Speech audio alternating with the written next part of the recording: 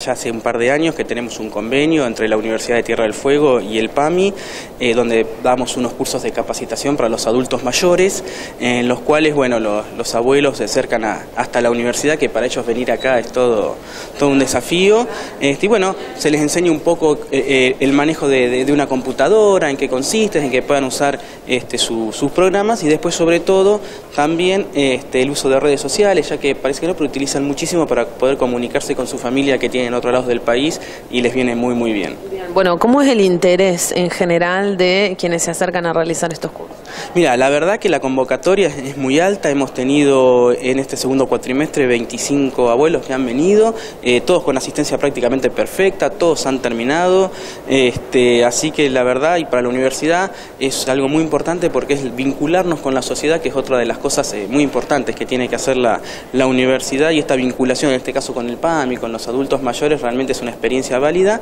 Y además también porque sea en un contexto de que quienes dictan los cursos, más allá de estar supervisados por un docente, son alumnos avanzados que también le dan la posibilidad este, de desempeñarse en el ámbito docente. Bueno, eh, imagino que tienen eh, intención de dar continuidad con esto. Eh, ¿Están revisando pues, quizás los, los contenidos en base a alguna sugerencia que, que realicen los, los adultos mayores?